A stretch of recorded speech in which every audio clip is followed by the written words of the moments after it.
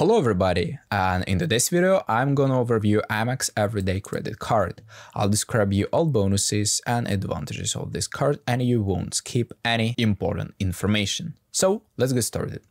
With this card you'll get your welcome offer uh, that gives you an opportunity to earn 10,000 uh, membership reward points after you use your new card to make $2,000 in purchases within the first 6 months of card membership.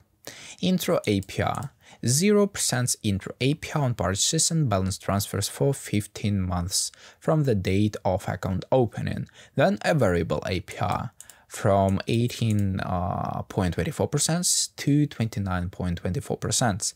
How could you earn your points?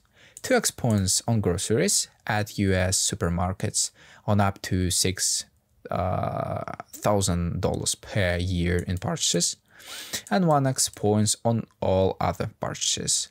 What's about featured benefit of this card of this card?